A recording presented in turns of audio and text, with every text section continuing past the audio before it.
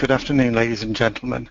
Uh, my name is David Hitchen, and I'm the BSI Product Scheme Manager for ISO 44001.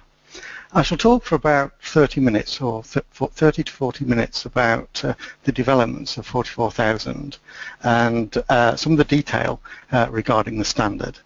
So my talk is broken into a number of parts. Firstly, a brief overview of formal collaborative business relationships. Secondly, the ISO high-level structure, which ISO 44000 uh, complies to, which will be an introduction for some people and a reminder for others. Thirdly, uh, I shall spend, and I'll spend most of the time on this, the development of ISO 44001 and so some key points in the evolution of collaborative working to a management system standard and changes from BS 11000 11,000 Part 1. Finally, I shall summarize the steps to certification as a new client or making the transition from certification to BS 11000 Part 1. So we step back in history, uh, partnering has been the focus uh, for parts of the UK Ministry of Defence back in 1998 with a specific aim to identify value to all partners in business relationships. This value may be uh, reduced cost, reduce time, better efficiency, or cross-mitigation of risks in the business relationships.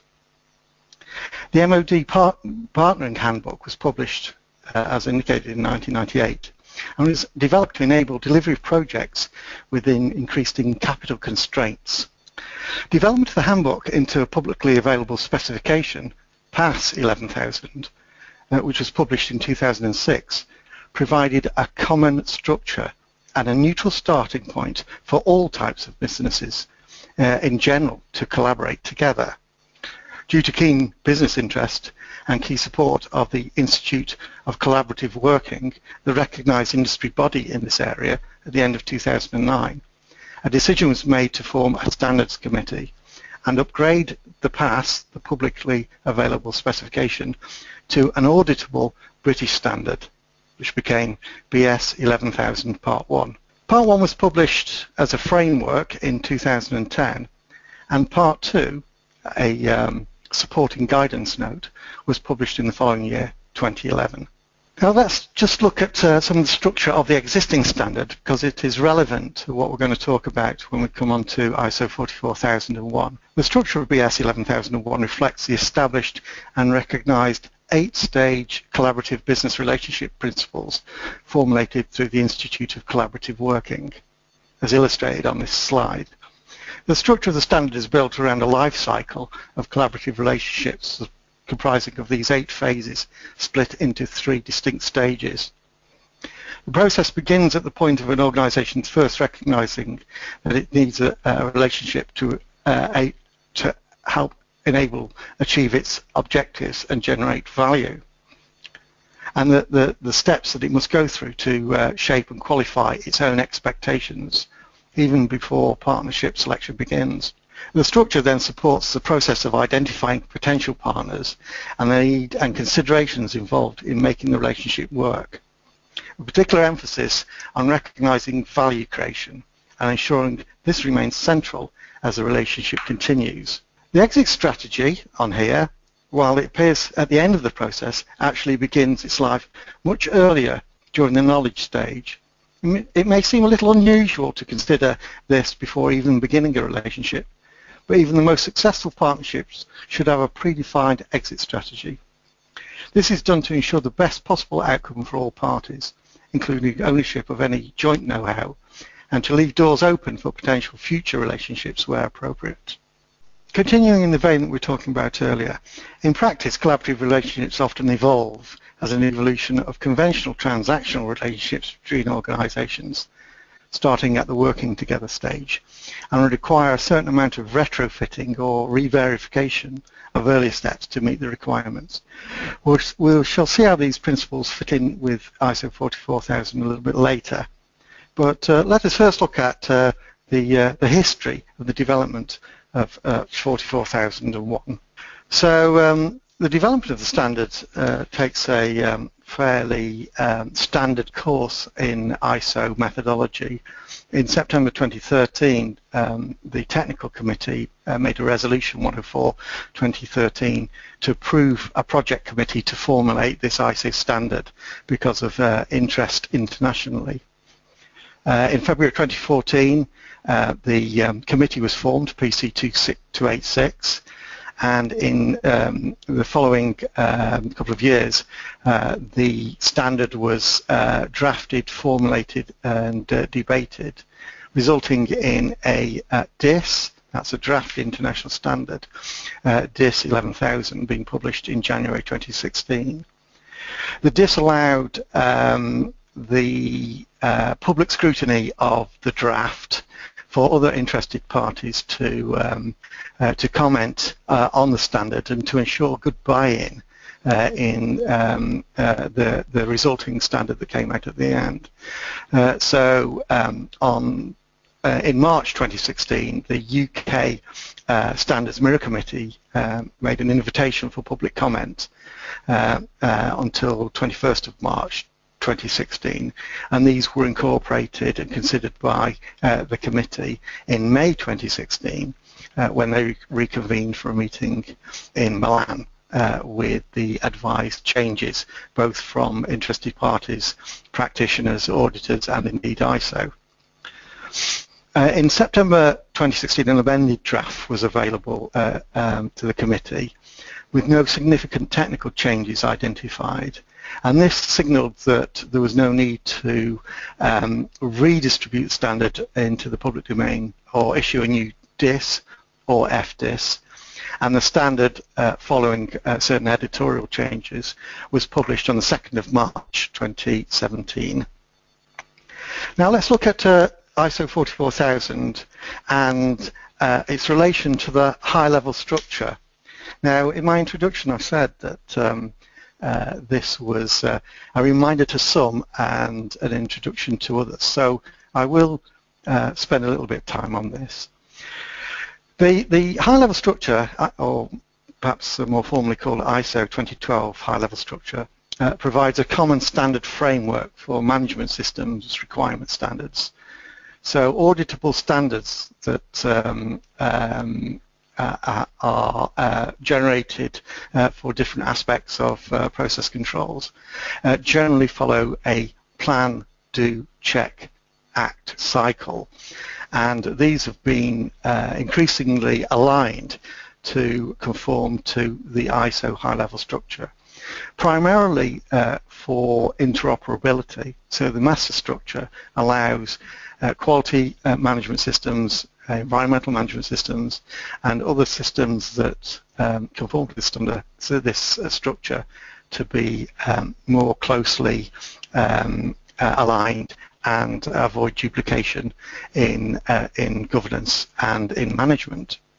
So in the high-level structure, clauses 4 to 7 are associated with the plan part of the plan do check act cycle. So those in summary are clause 4, which is context of the organization. So this is the horizon scanning and looking to where the organization um, exists and its key issues. Um, clause 5 uh, is uh, covers leadership and the commitment from the top.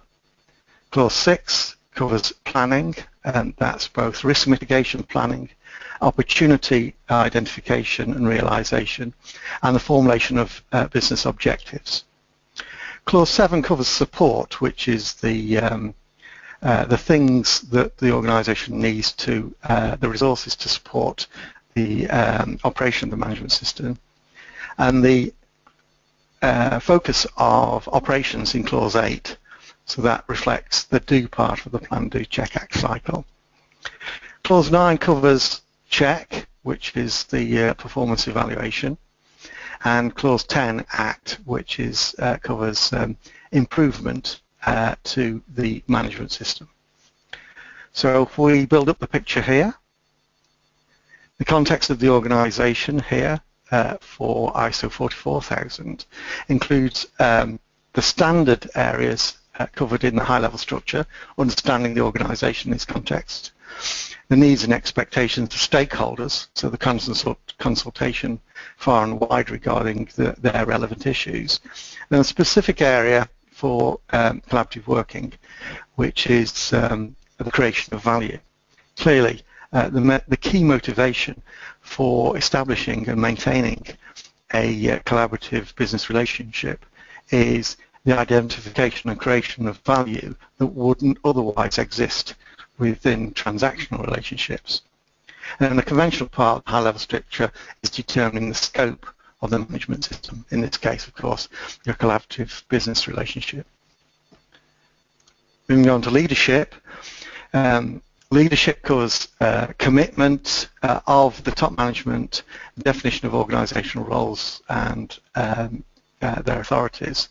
And in collaborative business, the governance structure and the um, senior executive responsible. So the um, uh, clause 5 hardwires the requirements of a, a senior executive re, uh, responsible uh, to the operation of the management system. And this is a key area where top management can define and influence the culture within an organization, which is an important aspect to uh, successful collaborative working and successful um, compliance and effectiveness to ISO 44001. Moving on, we have uh, actions to address risks and opportunities for the system. So again, this is looking at um, uh, risk mitigation and opportunity realization on the biggest canvas. So um, opportunities to collaborate and opportunities to um, uh, mitigate risks to the organizations through collaboration uh, at the highest level. This forms the basis to form uh, organizational objectives and then, um, of course, plans to achieve those objectives. Uh, one of the things to secure the realization of objectives is top management signing up to plans to achieve them. So if you have a plan to achieve your objectives, which is supported by uh, top management, then clearly there's more uh, opportunity uh, to realize those objectives rather than um, leave them to chance. One specific area here that's additional to uh, collaborative business relationships is the identification and prioritization of collaborative relationships. Again, before um, engagement, then there is a wide horizon scan to look at potential uh, partners. Moving on, I mentioned support, which is uh, really the resources and the ability to deliver the management system. Um, there are conventional uh, high-level structure requirements, uh, the provision of resources overall, which tends to be from the uh, top management, uh, collaborative business uh, competence, and specifically behaviors. So the success of collaborative business generally you know, it depends on trust. And those trusts are manifest in um, management and staff behaviours. So this is highlighted in this uh, support activity. Conventionally in high-level structures, the awareness, uh, communication vehicles, defining information requirements for the system, and uh, documentation, documented information control um, are conventional aspects of management systems that most people will be familiar with. One specific area is the um, uh, the inclusion of um, documented information to cover competencies and the uh, CRMP, the um, Relationship Ma Management Plan or the Corporate Relationship Management Plan, which is mandated to be uh, documented information. We move on, operations is the doing of the doing. Um, and this contains the key elements of operational planning and delivery and maps uh, approximately to the um, ICW eight-stage process. So, um, which are covered in BS 11000 clauses 3 to 10. So there are some differences which I'll come on to a little bit later. But uh, at the top level, the, the main doing of the doing is in clause 8. Moving on. Um, performance evaluation is, uh, from a high-level structure uh, point of view, uh, standard fare where the organization is obliged to define monitoring, measuring, analysis and evaluation uh, requirements and um, processes uh, to um, to evaluate the performance of the management system. There's conventional requirements for internal audit and for uh, a management review activity. As a reminder, management review doesn't have to be one meeting once a year. It could be a combination of meetings or combination of activities to cover the mandatory requirements in Clause 9. One very specific activity is exit evaluation. So the uh, ISO 44001 standard does mandate a formal exit evaluation um, uh, as far as um, part of the Plan Do Check Act uh, cycle is concerned. And this is important to ensure that the exit is done effectively, so perhaps a, a new uh, collaboration can form, or that the, uh, the stability in a conventional um, uh, business relationship after the exit of collaboration. Uh, and indeed, there are key learnings so that uh, a uh, collective partner can then establish new relationships with uh, learnings from old relationships. Um, and then finally on this uh, diagram, um, the um, improvement. Um, again, for those familiar with um, uh, management systems, ISO and BS management systems uh, requirements, then improvement conventionally covers uh, the identification recording of non-conformity, uh, the determination of root causes uh, for those non-conformities, and both corrections and corrective actions to prevent those non-conformities recurring. And then a general catch-all for continual improvement. So despite all those formalities, the last one in, in all the HLS um, uh, framed uh, management systems is opportunities from continual improvement should be identified and plugged back into the system to continue to improve the management system. Okay, so that's quite a, a heavy slide. Uh, what I'd like to do is to look into a little bit more detail um, uh, and uh, take those components apart. Now, if um, uh, the audience doesn't uh, uh, recognize these all in one go, then this webinar will be recorded so you can replay parts uh, for your for additional understanding. So context of the organization, we've uh, we've uh, mentioned this additional creation uh, of value. Um, one of the key points I'd like to to, to, raise here is that um, in identifying the context of the organization and the requirements. Uh, there's a wide, wide uh, range of collaborative partners that organizations may need to, uh, to recognize to establish aligned objectives. And I call this casting the net wide. So organizations are invited to cast the net wide in identifying uh, perhaps uh, less familiar partners uh, that, um, uh, that they're used to working with and recognize whether there is collaborative profiles that would uh, be useful to explore to realize uh, a more fruitful um, collaborative relationship. And when I say fruitful, it's driven by value creation. The key driver here is if those collaborative relationships drive extra value uh, that wouldn't be realized by a conventional contract or conventional transactional relationship. The next bit, leadership, I've uh, mentioned already. Um, the additional requirements for governance structure and the uh, identification of a senior executive responsible.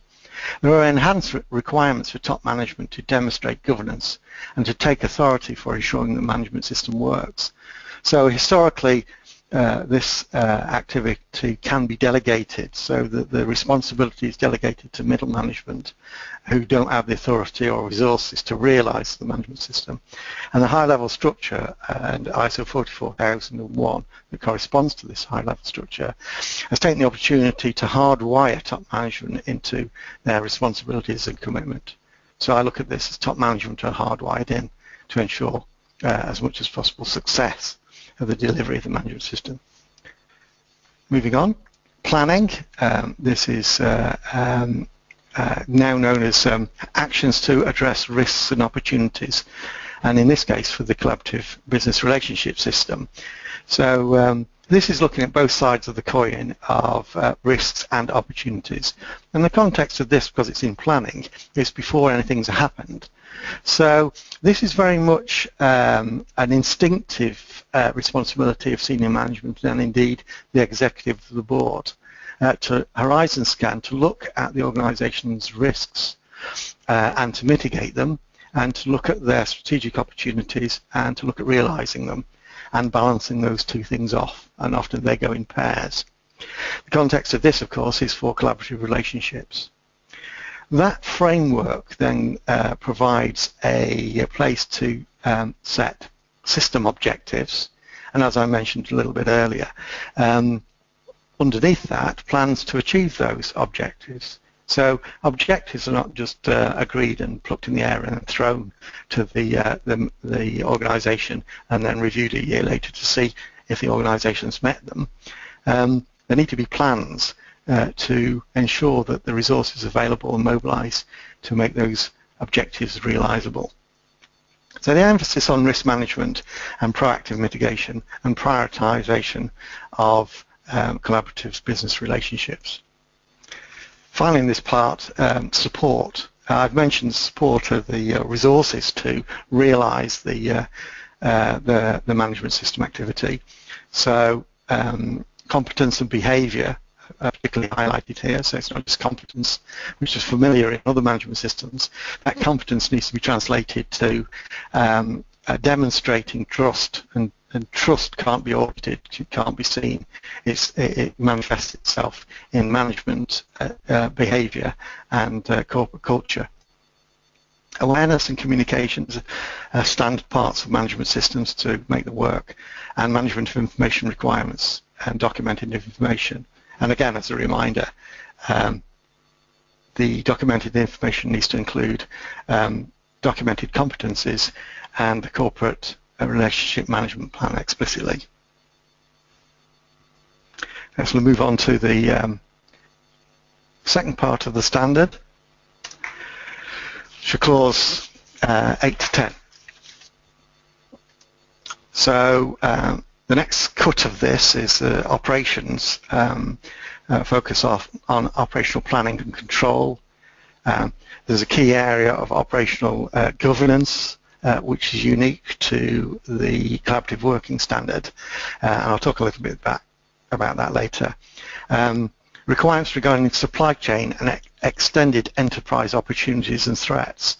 So again, this is a little bit of a change from uh, BS 11000 um, Part 1, where organizations are invited to look at the supply chain, or perhaps even you call it the supply network, um, not just immediate suppliers, but their um, second and third tier suppliers, and realise potential um, uh, collaborative opportunities uh, throughout supply network.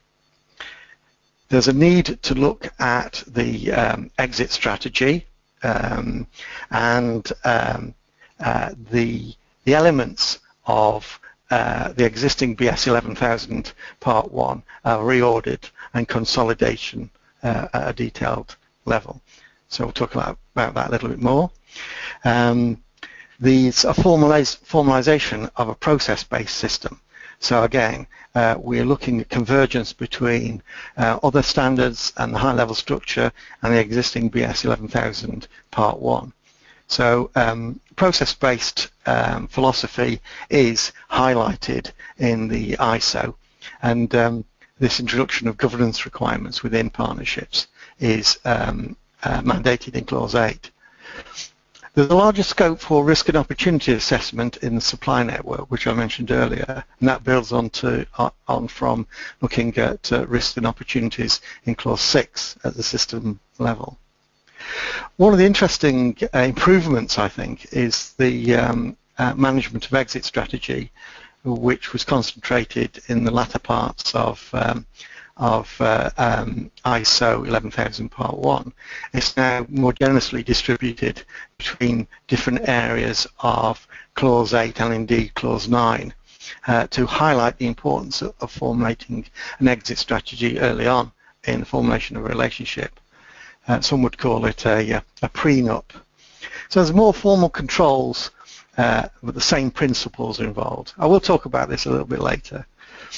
Moving on, uh, performance evaluation, uh, key areas here, here to uh, add to the high-level structure is this formal exit evaluation. And improvement, uh, this very much reflects the high-level structure as written, so the requirements for, uh, for managing non-conformity, corrective action and continual improvement. Now, let's, let's uh, consolidate this to together. Now, this slide illustrates the, um, uh, the Russian doll uh, type um, structure of ISO 44000. Um, the outside layer is the system requirements, which cover clauses 4 to 7 and 9 to 10.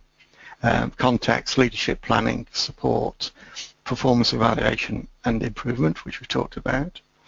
Then the next doll inside that is the um, operational compliance requirements, uh, which is under clause 8. So 8.2, 8.3, 8.4 and 5. And there are specific collaborative compliance requirements. So the collaborative requirements uh, cannot be done alone. Uh, they, they are covered in clauses uh, 8.6, 8.7, 8.8 and 8.9. And they can only be planned, realized uh, and indeed audited um, when an organization is in collaboration with another organization.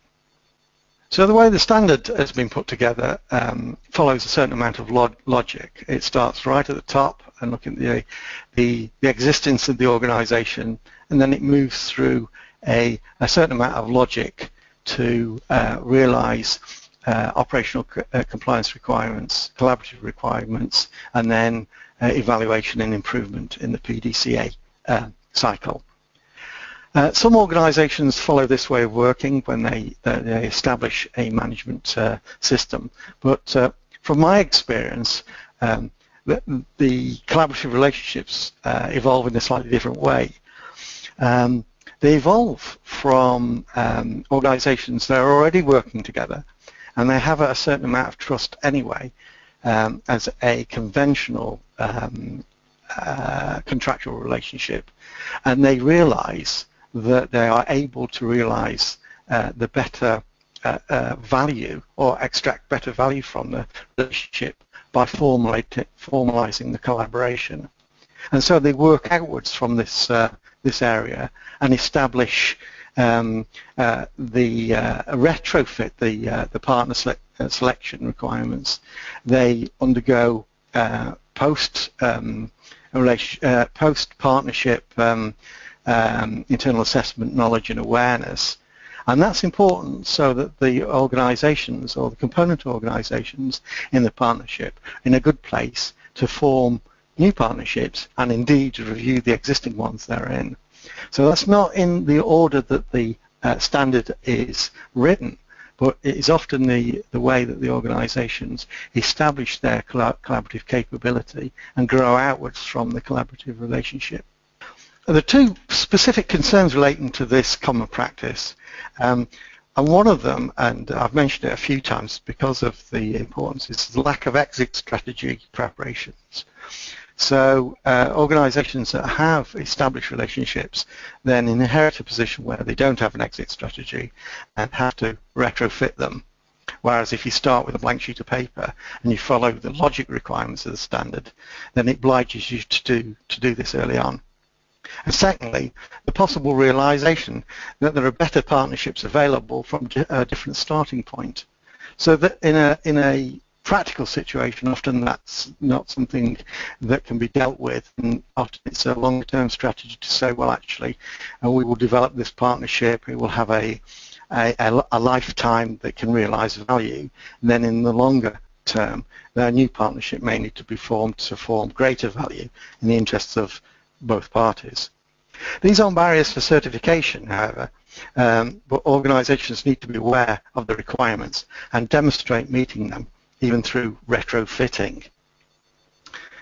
Now this is looks a bit of a daunting slide and I clicked next before I started to speak which was a bit of a mistake but in this slide uh, we'll dig into the um, the next level of detail of operations in clause 8.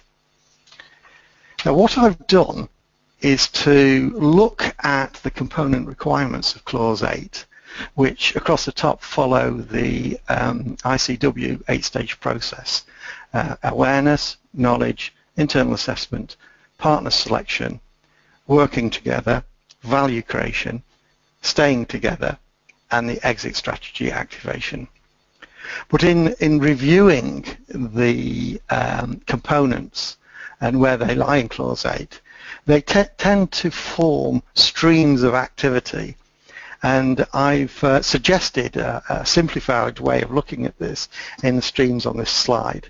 So you have the top stream, uh, which I've called uh, the SER stream, which has activity in clause, uh, subclause 8.2, and then later um, in 8.6.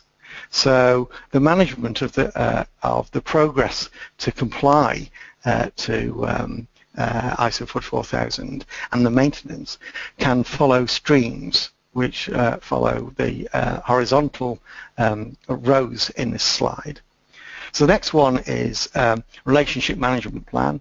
And again, um, the uh, standard obliges or mandates organizations to consider this uh, right at the beginning, uh, awareness, and then go through a number of steps uh, to furnish a full joint uh, relationship management plan through the maturing relationship and delivery of it. Governance is covered right at the beginning in awareness and then is revisited in the uh, centre part of this regarding um, in internal assessment, partnership selection and working together. The next uh, theme that I've uh, identified, I've, I've, grouped a number of things together, objectives, uh, value and value analysis. Uh, and this is visited in each of these subclause, subclauses. So uh, firstly, there's the identification of those elements, strategy and business case, and we can follow through uh, uh, development objectives, assessing joint objectives, and then value creation and delivery. The next um, uh, strand or theme uh, in um, buttermilk on here is the competencies and behaviours which are introduced in awareness and identification of key individuals in uh, uh, clause 8.3 knowledge and then looking at uh, improving those organizational collaborative co competencies while working together. The last three elements, which I'll briefly cover now, uh, looking at an initial risk assessment and developing a operational risk management process, and then uh, establishing a joint risk management process. So again, there's a natural logic uh, through that theme. Um, Next stream I've called uh, partnership management, so the identification of collaborative business relationships and identification of prioritization, and then uh, define selection criteria, then nominating partners and then having initial engagement in uh, clause 8.5, and then establishing the uh, agreements and co contracting arrangements within those um, um, uh, partnership management activities. And the, the final theme on here is establishing the um, uh, exit strategy. So this is formulated to start with in clause 8.3, the initial exit strategy, which is done uh, by an organization on itself. Then uh, moving through a joint exit strategy, um, assessing, establishing a joint exit strategy, and maintaining the exit strategy uh, through the lifetime of working together uh, and uh, staying together, then uh, the organisations are in a good place to initiate dis uh, disengagement but maintain business continuity uh, in the relationships and then perhaps move to not a total divorce but looking at a more conventional uh, transactional relationship should the circumstances present themselves.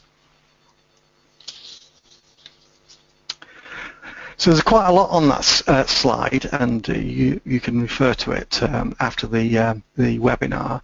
But um, I'll just highlight each of these themes: the SER theme, the relationship management plan theme, governance, value, objectives and measures, competencies and behaviours, risk management, partnership management, and exit management. Now what I'd like to do is to move on to um, certification and uh, timeline uh, estimates regarding um, certification uh, to ISO 44001 and existing certification to um, BS 11000 Part 1. So here I've got a simplified diagram that illustrates uh, the recent history, the publication of the uh, draft international standard, um, the uh, intermediate draft 44001, and then the publication of ISO 44001 uh, in uh, early in March uh, 2017. The number of uh, things that uh, BSI have conventionally done in the transition of uh, certification products and the style of which we're going to manage this is it should be no surprises. There's no fundamentally different um, areas that we will manage differently to, to other to other standards. So BSI's policy is to fully recognize ISO 44001 as the collaborative business relationship standard. As a convention, BSI will support uh, BS 11000 Part 1 certification until two years after this publication of 44001, which will be uh, to March 2019. BSI will continue CAVs or surveillance visits to BS 11000. However, the expiry date of any new certificate, so if there's a recertification in this period, will be March 2019. It will not be the uh, three years from the certification. Now, conventionally, after the launch, after uh, a few months, UKAS um, may um, uh, invite um, a pilot uh, for uh, looking at accreditation to this scheme. Uh, so all standards are not accredited on launch and certification is not accredited.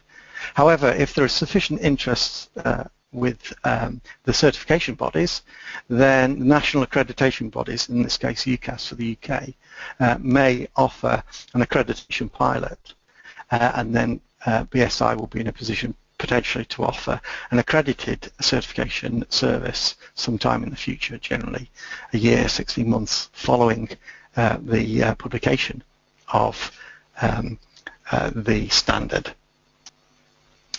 Transition, um, the transition process, we have piloted uh, transitions uh, with a number of organizations and our tra transition process from uh, BS 11000 to ISO 44000 is going to follow this process. And this is additional to the um, surveillance or recertification visits. There'll be a half a day pre-assessment which can be on or off-site. Uh, this is to be agreed between uh, your client manager and um, uh, the client, whichever is uh, most suitable and convenient. Then there's a one-day on-site transition assessment to assess the organization's uh, compliance and conformance uh, to the requirements of ISO 44001. And then a half a day report preparation off-site. Uh, so these, uh, this transition process is an additional um, uh, requirement to the conventional program. So specific uh, jobs need to be raised uh, for this two-day transition, which you should discuss with your client manager for the best dates suitable so they can support you in this. In the medium term, there will not be a, a uh, ISO 44002 guidance document, and the existing BS 11000 Part 2, uh, the existing guidance, is currently being planned to be revised to form a guidance standard to, support ISO 44001.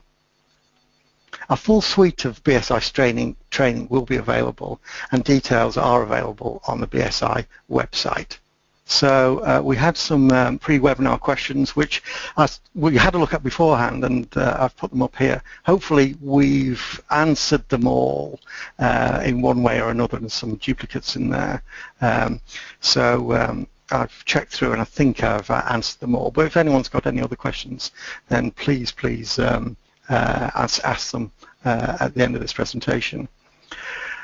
One of the things uh, that we have recognised uh, are a couple of editorial issues in the publication of um, uh, 44001. So one is in clause 8324. If uh, uh, the more diligent of you um, uh, study that, you'll re realise there are no requirements in it. Um, and I, um, it needs to be treated as guidance. Um, there may be future debate whether there can should be a should, which makes it mandatory, but we have to use the standard as it is written. We can't interpret it in the way we think it is. So 8324 uh, is guidance. Similarly, uh, clause 8610, the final paragraph, doesn't have the S word in there, so there's, there's no should or. Um, so again, uh, that needs to be recognized as uh, guidance. And finally, um, the, useful um, structure in uh, um, uh clauses 8, uh, X1 uh, are illustrative. So they illustrate the um, the logic regarding the uh, the processes, but um, they're not auditable directly in the diagram. Um, the substantive text underneath them are the areas that are uh, auditable. Okay, now thank you very much, uh, David. Um, what we're going to do right now is to open the panel out to questions. The questions are, following the launch of ISO 44001, has there been any certifications to the standard? Uh, yes, Rob. The, um, uh, there have been uh, six or seven um, uh, pilot organisations uh, six, sorry, I've just counted them up, uh, have undergone transition assessments and have been certified by BSI uh, uh, following the launch of the standards. Um, in the public domain, they are uh, Costain, uh, EMCOR UK, uh, Kier Construction, Leidos, uh, NATS, and Network Rail. And these are the first six UK, and indeed for our understanding, worldwide companies to be independently assessed to achieve certification to ISO 44001. Thanks. Okay, the next question is, will there be internal auditor and implementation training available from BSI? Uh, yes, Rob, the, the, the uh, there'll be a training available. I, I, mentioned it just very briefly in my presentation. There'll be uh, training available for uh, requirements and migration to, to ISO 44001 uh, implementing um, ISO 44001 uh, collaborative business relationships. Um, 44001 uh, internal auditor course, um, collaborative leaders course, uh, and senior management briefing. Uh, and if uh, any of the um, webinar participants like to uh, Google UK training courses, uh, then they'll be able to find more detail uh, on these courses offered by BSI. Here we have a question which has come in from an email and that was um, has there been a template gap analysis which is created for clients moving into the transition phase? So for example, the current scope of work versus a new scope of work, where are the differences and do we have any access to templates? That's that's a very good question. We found, uh, or BSI have found, in transitions for other standards that having uh, a template is a really useful tool for organisations to identify and recognise where they are on the transition journey.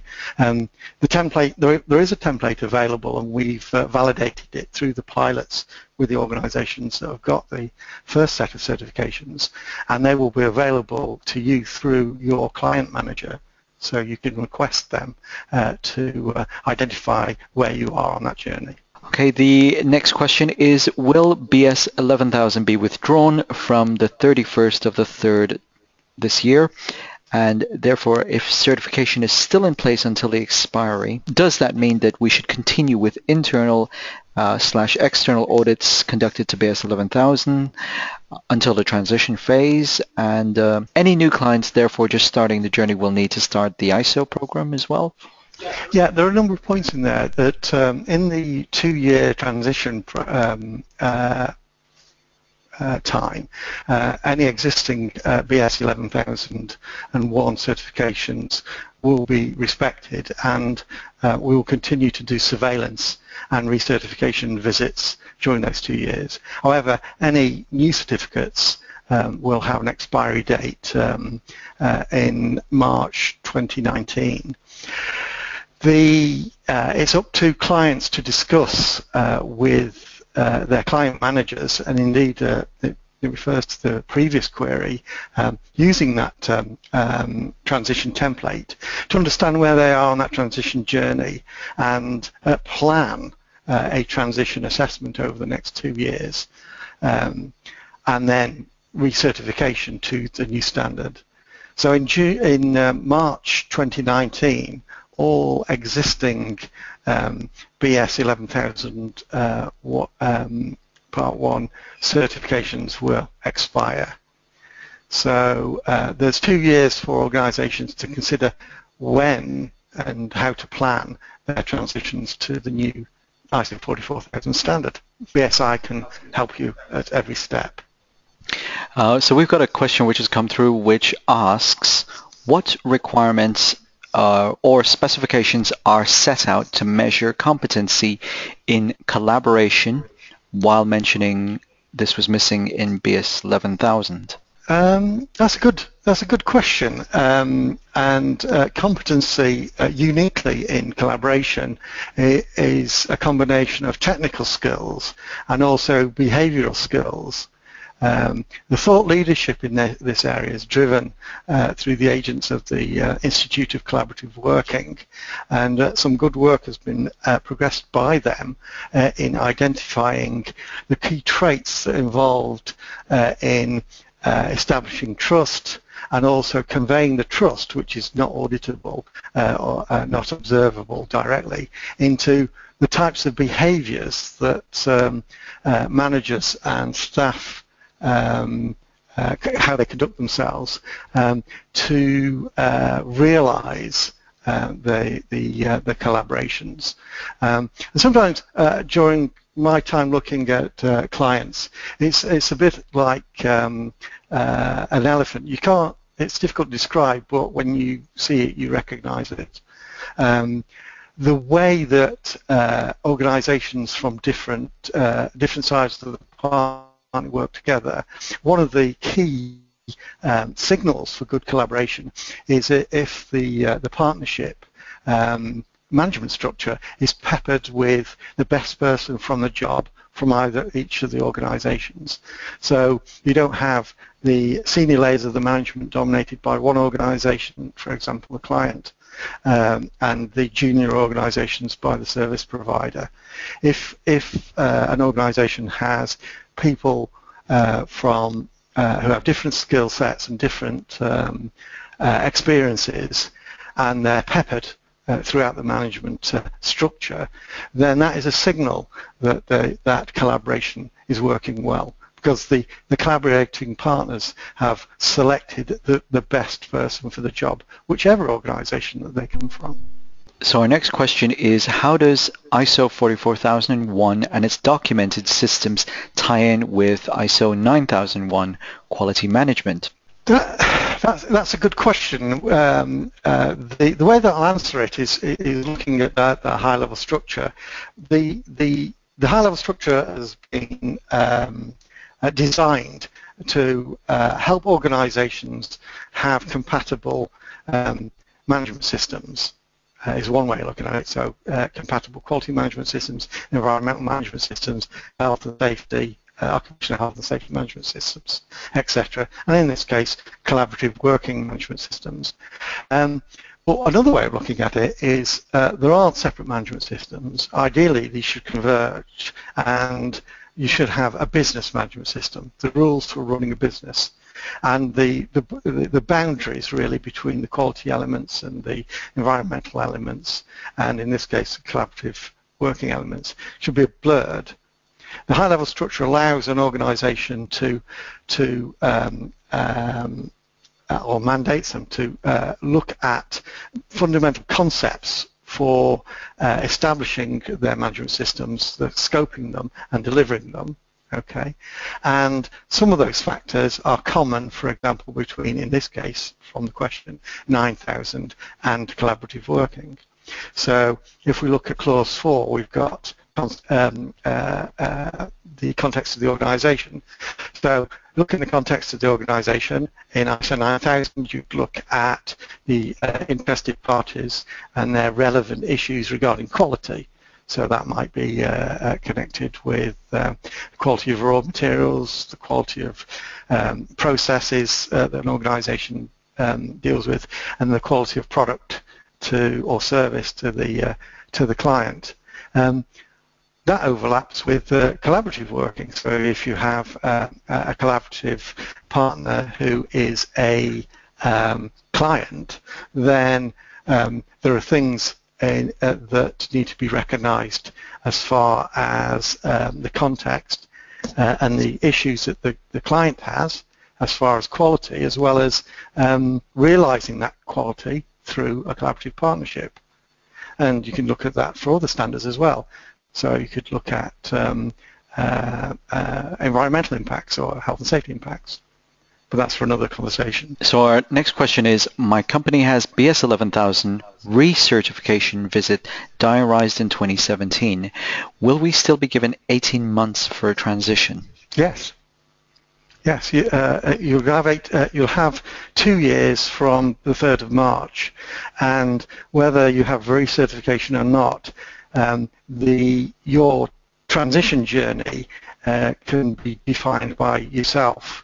So as long as it's completed uh, for March 2019, then you can um, uh, establish that, work with your client manager uh, with the template for uh, transition to understand where you are, where you need to develop your systems, and then you should be in a, a confident position to um, to undertake a formal transition assessment and be recertified to the new standard. And looking at the uh, the transition template, it will self-evident, uh, and also with discussions with your client manager, whether there's more work to be done. So, so well, we'll have the recertification under the old standard, and we'll plan to to enhance or develop these new processes over the next five, six months or 10 months, and then put them into place and have the transition um, uh, assessment at a time of, uh, uh, of your choosing. Okay, so we have another question, which is when is BSI going to start the ISO 44001 certification process for organizations? Well, we've already uh, started it. Um, we have undertaken the pilot, which we mentioned earlier, and um, uh, six UK organizations have been successfully certified to ISO 44000. This is a very important process uh, for us to validate um, our certification service. So um, we are in a very confident position uh, to offer uh, competent um, uh, uh auditing and certification to the market. Uh, another question is, can the half-day assessment be included in a scheduled visit? Our starting position is no. Uh, we and and this uh, doing these pilots, uh, we had a number of uh, uh, opinions of the, the best and most efficient and value-added way of doing these uh, these um, transition assessments, and we, the consensus decision that we needed two days, and the best way of structuring it to to minimise inconvenience is the way they've illustrated. Now, those can be um, connected to a uh, surveillance visit for operational convenience, but they can't really overlap because they're doing two, two different things. One of them, uh, your surveillance visit for 11,000 is looking at compliance and effectiveness of the current standard, and the transition assessment is looking whether the organization has developed the wherewithal and the um, compliance require, conformance requirements to, to the new standard. Next question is, would you advise of any tools to identify and track competencies and behaviors? Um, yeah, yes, I would. I mean, uh, one of the fonts of uh, information again is the recognised industry body, um, and uh, I'll go back to the point I said earlier that uh, the success of collaborative working depends very much on the culture uh, of the and behaviours within those partnerships, and those are underpinned by trust. So the key thing is uh, being able to establish trust, which is which you can't um, observe directly, and an auditor who's certifying can't um, uh, can't audit. What they can observe and audit is uh, behaviours And behaviours uh, can be by witnessing uh, an active um, uh, partnership and the meetings within those partnerships, but also um, the documentation um, and the uh, interviews with staff and uh, particularly the senior management, but all people in, within the partnership can reveal whether those um, uh, behaviours are apparent. Now, um, development of those behaviours is something that um, BSI have insight in and can talk about uh, in the, um, the training courses. But um, the ICW uh, have a great um, a wealth of information and access to resources to help organisations uh, uh, develop uh, the attitudes the trust and the behaviours to make collaborative working successful. So thank you very much, David. We do have a few more questions, but I'm afraid we're going to have to wrap it up there because um, it seems that we've overrun by a few minutes. With that in mind, it just leaves me to say thank you very much for joining us today and thank you very much, David, for uh, your time and also your expertise on the subject. And thank you. And uh, for all of those with questions, if you have any other burning questions that you really need to ask, um, please don't hesitate to drop us an email. And that's it. Thank you very much, everyone. Bye-bye. Bye-bye.